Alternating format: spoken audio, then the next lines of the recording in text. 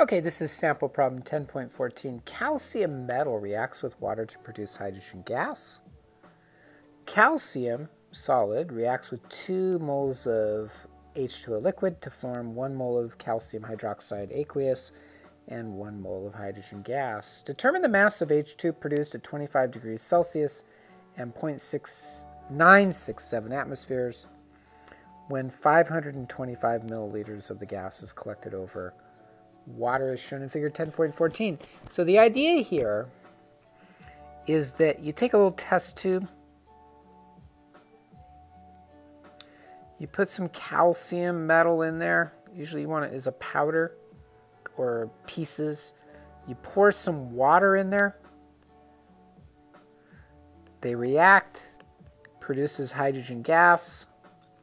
So what you do is you take a tube, connect that tube Put the tube into the bottom of a water trough. So you put water in here. So you have a little opening in here. And then you have another test tube or some sort of container upside down. So it's closed off at the top. And what happens is the hydrogen gas will move up to the tube and start getting collected in here. And you can do a water, di water displacement method, which is kind of cool, where essentially you, you fill up the tube with water at the beginning, put it in upside down, and then the pressure of the hydrogen gas will push the water out. So you essentially have levels of hydrogen gas inside that tube. Okay, so what do they do? They tell us the volume of that hydrogen gas is um, a lot, 525 milliliters. So 0.525 liters. Remember, you divide it by a 1,000 to go from milliliters to liters. Okay, so there's your volume. We would normally say, look, if we want to find out the mass of H2, let's find the moles of H2 first from the ideal gas law, and then just convert moles to mass.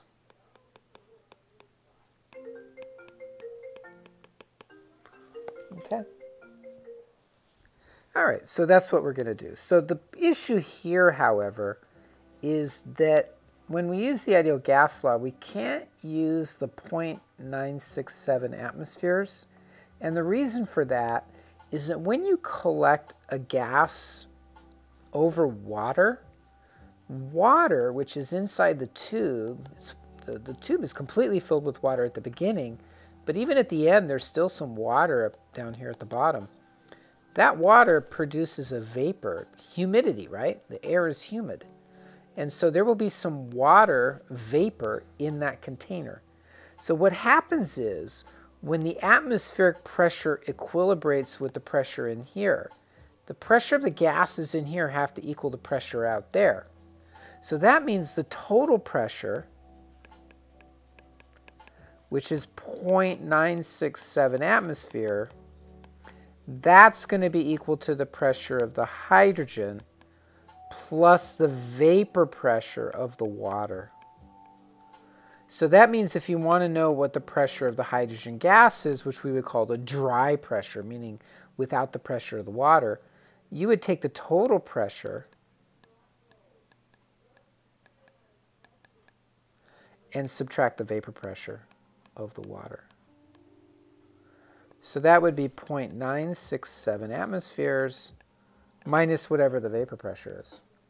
How do we figure out what the vapor pressure is? Well, it turns out vapor pressure is, is affected by temperature, and people have tabulated va values. So you would look this up in a table.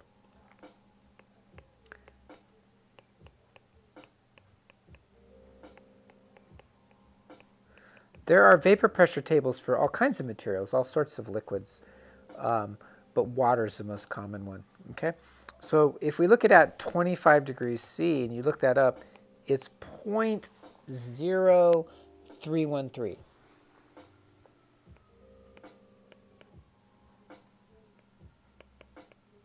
Okay, so that means the pressure of the dry hydrogen is 0.967 minus 0.0313.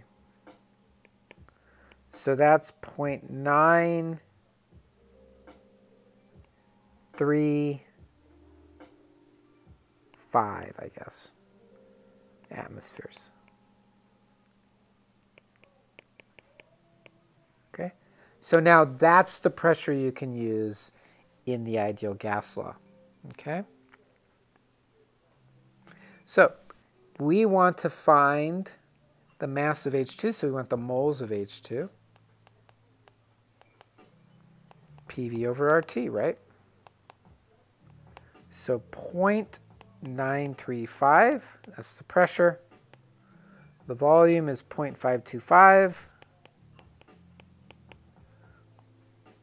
R is 0.08206.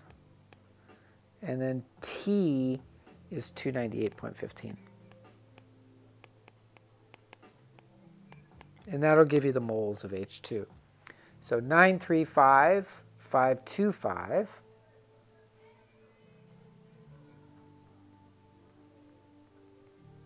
divided by 0.08206 divided by 298.15. So it looks like it's 0.0201. So 2.01 times 10 to the minus 2.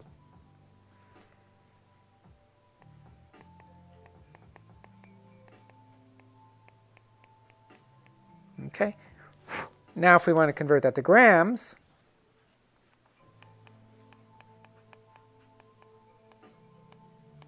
hydrogen is 2.02 grams per mole. That's the molar mass. So multiply that answer by 2.02 and you get 0.0406. So 4.0, I'm sorry, 4.05 times 10 to the minus 2.